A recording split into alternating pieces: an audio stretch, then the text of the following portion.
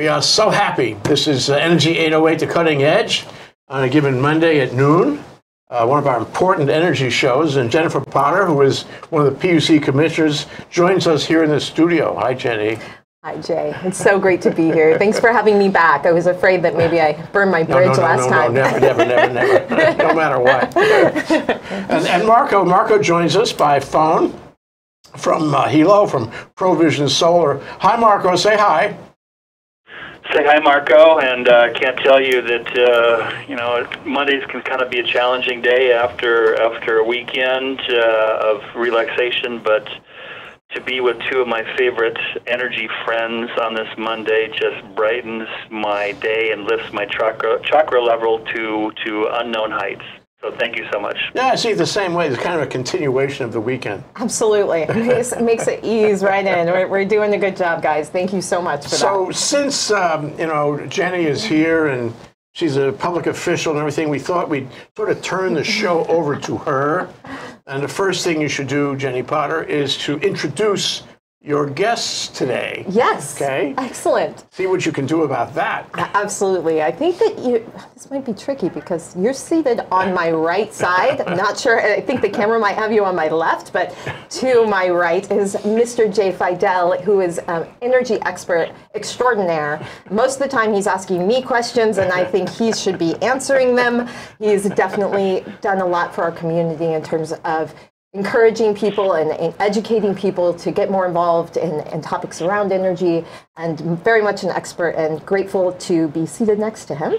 And on the phone, we have Marco Mangelsdorf, who's actually a member of my tribe, we've agreed.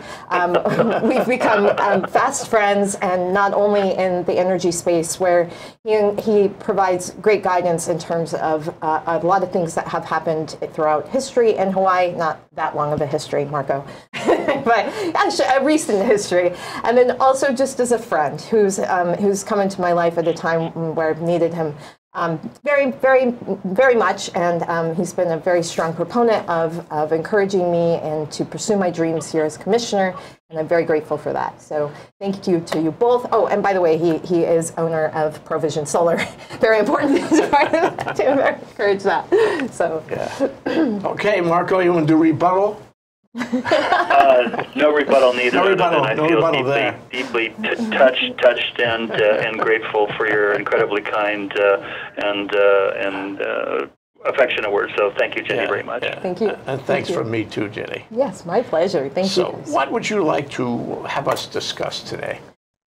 Well, we've we've had an interesting beginning of the year. I think um, you know that the PUC has uh, accomplished quite a bit as an organization. I think in the first three months we've put out more critical orders than you know than than we had in the previous year. We'd handled a lot of rate cases, but we handled a lot of the the purchase power agreements for renewable energy, which is going to significantly increase um, our, our, our needs to get to the 100% renewable portfolio Yeah, goal, yeah. which is great.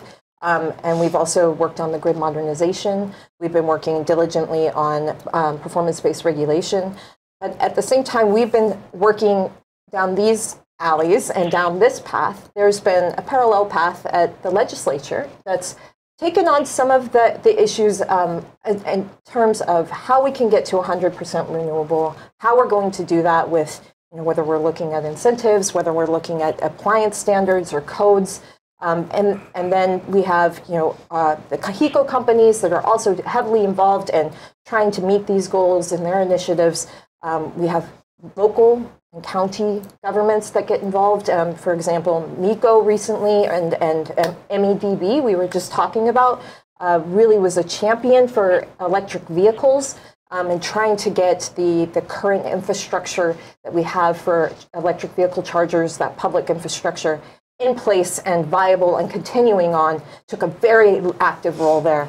So, so there's all these players that are playing in this space, and you know, but they're not necessarily all playing together. We, we might be in the same sandbox, but but my question, I think, I, I pose to to both of you is who who's the leader? Who should be the leader? Who is currently the leader in in this space, and and really getting us over the next 10 years, 15 years, maybe even to 2045.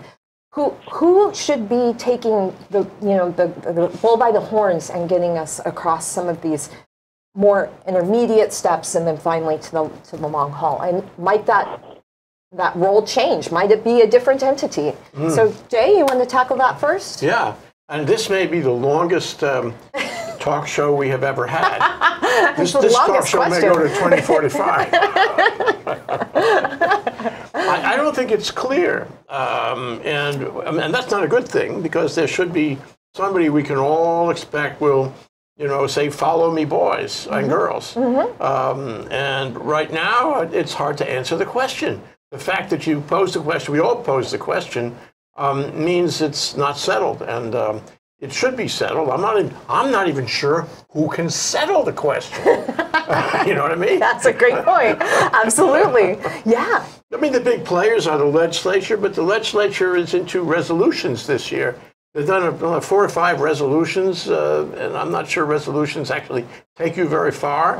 Um, they need to do, you know, affirmative bills is what they need. Bills maybe that haven't been passed over three years or four years of trying. Uh, That's I don't fully understand that. Maybe Marco does. Um, I think the office of uh, the energy office is in is in fragmentation right now. It's not clear where they're going, what they're doing, their authority, their funding, um, their staff. Uh, that, so that's they're not a, an easy candidate on this. right Uh, right The PUC is quasi-judicial, and yes, you can make you know indices and uh, commentaries on your decisions that will give leadership. Uh, your primary purpose is quasi-judicial. That's right. Uh, Yeah. answering questions that are put before you. That's right. Um, usually, uh, somebody else got, has the idea for the docket. That's usually, right. Mm-hmm. um, and then uh, I guess there's the utility or utilities, and it, by default, they come up with stuff. Mm-hmm. Uh, you know, and it's it's it's it's based it's based on their interest, of course, but they do come up with stuff, and they want to move ahead, and they're responsive to the goals and targets and all that. So you got to give them credit for that. Let me think. The counties, the counties, as in Maui, and MEDB doing stuff, you know, like filling the gap um, and hoping that they're, what they do will somehow, you know, catch fire in other places. But there's no, and the governor is really not, doesn't see himself as a leader of energy. right Uh, Right. Makes comments, but he's not really taking it forward. I don't, I don't, uh, who else, did, who did I miss, Marco? What do you think? Well, I think it's an incredibly juicy and difficult to answer question, Jenny. Uh, I, I think the system in which we live does not lend itself to some type of kind of all-powerful energy czar or czarina, man or woman, because uh, you know if we lived in a more uh, authoritarian dictatorship type of country, that might be possible. But that, of course, is typically not uh, not our nature, uh, not our not our system here. So my response would be is I think essentially we have collective leadership that we have champions in uh, from various um, various sectors, including the private sector, which I've been a part of for quite a while, the solar industry. We have champions in the nonprofit sphere. We have folks, you know, from Ulupono Initiative. We have folks from from Blue Planet, Henk Rogers and his group. Uh, if we're lucky, we'll have one or more champions in the legislature. If we're lucky, we'll have a chief executive, uh, uh, Governor Ige, who is is pushing the ball forward. If we're lucky, we'll have uh, individual actors within Hawaiian Electric and KIUC who are pro renewable energy, cost-effective renewable energy, electrifying transportation, and so forth. So, I think we're we're destined to continue to to have a collective leadership and and can only hope that there's enough common ground, enough common goals and strategies that we're moving in the right direction. And uh, I think you know the fact that uh, uh, we've got you there on the commission, Jenny, and uh, our friend uh, Dr. Jay Griffin, and now Leo Asuncion. Uh, that uh, you know I've been in the sphere in, in Hawaii for decades, and and I'm not even buttering up for anything when I tell you I've I've never been so uh, hopeful and confident that uh, our current commission and the staff, which I know works their their uh, collective okoles off, uh, is is we've never we've never had a better commission in, in terms of you guys really get it, in my opinion. That is the changing regulatory environment, changing utility environment, changing energy environment, and it's critical to have regulators like you three who really do get it. So uh, yeah, I, I really do feel it's collective leadership, and I feel pretty good about this collective leadership. That said, if you look at this past legislative session, I don't feel particularly good about what was not uh, accomplished there. So I, I think I'll, I'll, I'll stop talking for now. Okay, I'd like rebuttal. May I? Please. Yeah. First of all, I want to go further on the PUC because the PUC does have the legislative power, authority to come up with ideas. Um, you, you, know, you don't have to treat everything as quasi judicial you know, right. decision making. You can actually open a docket yourself. You can call the parties in. You can bring in a mediator, arbitrator, uh, a master, a special master to decide things.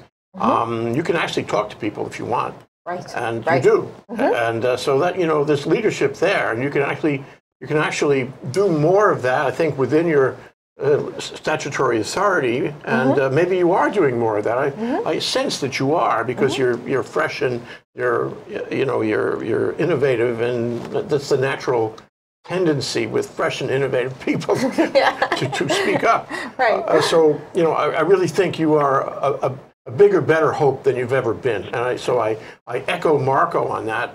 Um, but I also say that um, the way it works, uh, there's room, plenty of room for the PUC to step into more more of a leadership position on this. But the other thing is, I want to disagree with something. May I, Marco? Is it okay? How dare you? But go ahead. Yeah. Sorry, I'm, I'm going to go ahead. what is this collective leadership? This sounds like an oxymoron to me. Either you have a leader or, or a group, but you know, collective what? And then you wonder about that because this is the land of consensus. And consensus is not our destiny, it's our doom. We, can't live on consensus. We have to have somebody take a chance, take a risk. And I remember a, a speech that um, uh, David Bissell gave one time uh, in one of our energy programs, and he said, I want you to know that we have a whole concept about taking risk.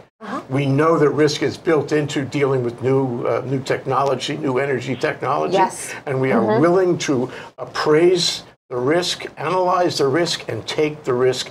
That's how you move ahead. That's Okay. awesome. So, I mean, and- Absolutely. and, he does. He does do that. Yes. So anyway, I, I worry with collective, quote, collective leadership that you have the phenomenon of the nail getting hammered down or the crab being pulled back in the bucket.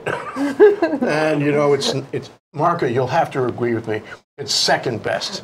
Uh, consensus model, collective leadership is second best. You agree?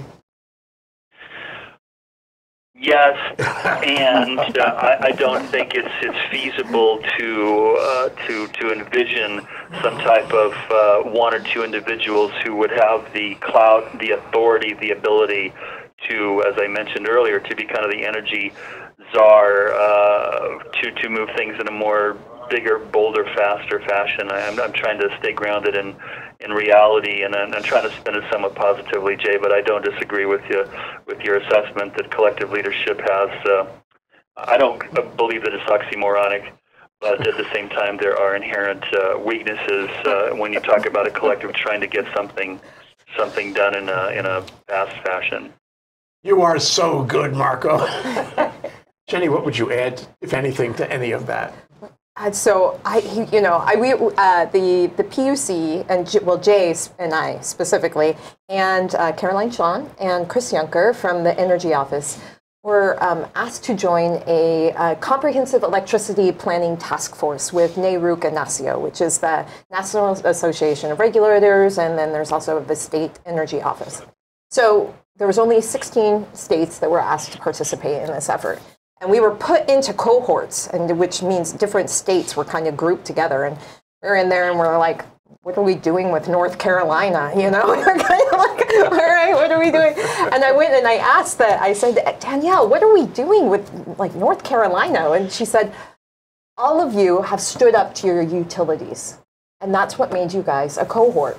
And I was thinking, so the rest of oh, the PUCs hadn't stood up to their utilities, which doesn't mean that we're like bad utility and we're, you know, but where we're saying, no, we expect you to share in some of the risk, or we want to see, we put a contingency on cost recovery here, or, you know, I guess there's a lot of rubber stamping out there. But since even that point, I've been asked to speak on so many conferences about regulation, innovation and regulation. So, so there is something that's happening here at the PUC. We are innovating, and, and we know that to, to, to a large degree. But I think a lot of where I see, you know, what are responsibilities, and one of the things that so I, I, I study public public policy, blah blah, public policy, um, in my master's program, and I worked for not for profits. And one thing they told us is the objective of a not for profit is to work yourself out of a job. It's your job to, if you are looking for literacy, you know, and that's your whole initiative, then everybody can read, and then finally you close your doors. You know, hunger is ended, and you're you've done your job as a not-for-profit. In public policy, that's that's very much the same thing. And as a regulator, if you put on that hat and you think along the same lines, you say, what does it look like if I work myself out of a job? That means that because my job is is created because we have monopolies. We don't have competitive marketplaces. We have, you know, market drivers that get dampened because there's this monopolistic power that kind of keeps things all in, in control. And the and the, the role of the regulator is to say, okay, wait, wait, wait, wait, wait, we need some other actors to come in. And and what we saw happen in, in mid um, you know 2015, 2013 is we saw this rising up of solar right? This in that people making decisions, purchasing power, this mm-hmm. disruptive technology that not even the commission was in a position to say we were, it was like behind the power curve of like we need a tariff, we have to be able to control interconnection, like what's happening, and you know, and the utility didn't know what to do either. But it wasn't that in its own way was disrupting the monopoly. And it was creating an opportunity in the market for us to evolve as a state. So I think in, as we move forward in our role as in the leadership capacity that we have as the PUC, our job is to enable market competition. Our job is to allow for disruptive technologies to come in and help solve some of these problems and get us to 100% renewable. And so, as a regulator, and as we look at these dockets moving through our our, you know, our whole procedure, not just performance-based regulation, but even as we look into the stage two renewable um, procurement process, which is the RFP in front of us right now. How is it that we can accommodate market competition in that competitive bidding process to, to a level that perhaps it isn't already set up to be? And so, so really, we have a leadership role. It's not the only one. But certainly, you can see how in the past these types of market transformations have occurred organically. How can the PUC help set, you know, kind of, I guess the the the, the lane. Uh, the, I keep thinking of like a garden, right? How can we get the soil ready so that when we plant the make seeds, the it's a, yeah, grow. The, make the garden grow, right? So wow. that's my. Wow, Jenny! Wow, wow, wow! I'm blown away. Marco, you must be blown away too. He's probably heard that before. I'm speechless. I'm speechless. Uh, I, I, need I need a minute to recover. So let's take a break for one minute and come back, and then we can regroup on these and other issues with Jenny Potter. We'll be right back.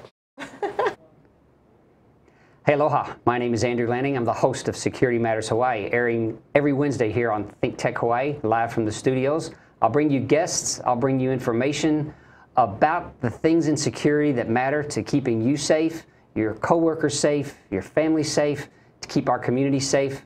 Uh, we want to teach you about those things in our industry that you know may be a little outside of your experience. So please join me because security matters. Aloha.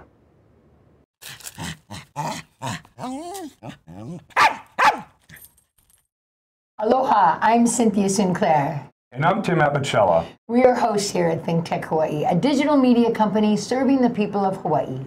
We provide a video platform for citizen journalists to raise public awareness in Hawaii. We are a Hawaii nonprofit that depends on the generosity of its supporters to keep on going. We'd be grateful if you go to thinktechhawaii.com and make a donation to support us now. Thanks, Thanks so so much.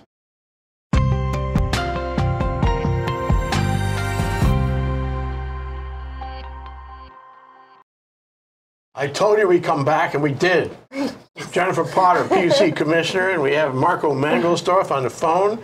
And Marco, I want to offer you the opportunity to react to what Jenny was saying. I know you needed a minute to think about it. well, it's it's really interesting to, to what you shared, Jenny, in terms of uh, grouping these uh, various um, commissions uh, in terms of coming up with specific cohorts and and the notion that this particular commission, as established with you and Jay and now Leo, uh, is being uh, you guys are being noticed for being more challenging of the of the utility company here, and the utility company here, of course, is Hawaiian Electric, HECO, HELCO, MECO, and then KIUC, and it, it shows to me that there is a, a more proactive, more uh, exacting uh, set of, of, of concerns and desires on the part of the, our current PUC in terms of wanting to see Hawaiian Electric move faster, deeper into the, the energy transformation away from fossil-based fuels to cost-effective renewables. And you know, there's a lot that we could discuss in terms of what Hawaiian Electric has been doing, what they haven't been doing well, what they need to do better. And I happen to believe that you know, Dave Bissell, a good friend of mine as well, you know, Dave took KIUC uh, since he became CEO and made it much more aggressive and more risk acceptant.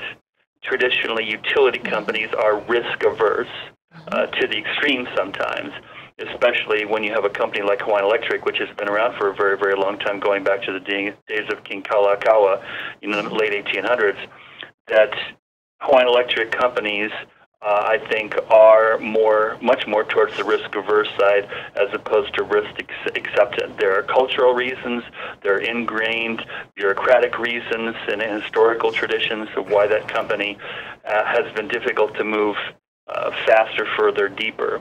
So I think it's an interesting recognition on the part of national uh, individuals and authorities that this commission is doing something that's laudatory, that's notable, that deserves recognition, because uh, you know, and I've been, I, my company used to be part of Hawaiian Electric long ago, so I have both kind of an institutional insider for a time and also outsider perspective, and I do happen to believe that there are areas of which Hawaiian Electric needs to go faster, further, deeper, and it goes against their grain at times to go faster, further, deeper. So whatever, whatever entities, whatever individuals can push that company harder, I think is to the public benefit.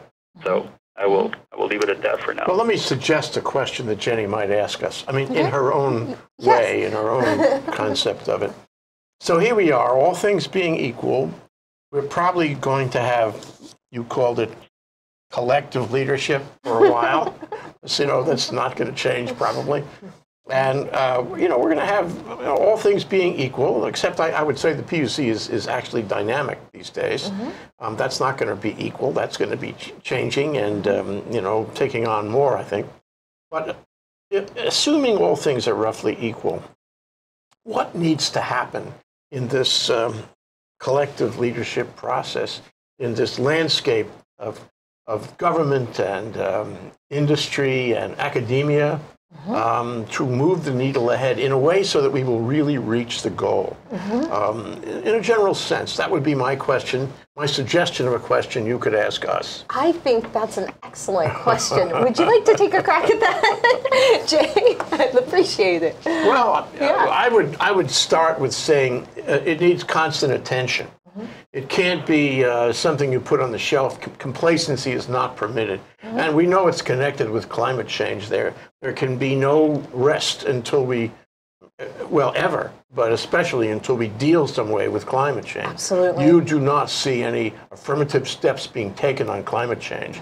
This is very troubling mm-hmm. because it's so closely related to energy. Energy is really part of it. Absolutely. So we have to take affirmative steps. That means we have to think about it all the time. We have to be thinking at every level and every aspect of government, industry, and the public to do stuff. Mm-hmm. Okay, so uh, organizations like ThinkTech should be working to keep it aware, top of mind Absolutely. for everyone in the landscape. Mm-hmm. And with that, you know, I think we can move ahead. We can never forget. We always have to sort of mm, remind people how important it is right. that they have to get involved. You know, it's That's like right. this uh, this uh, this movie I saw recently called Prosecuting Evil.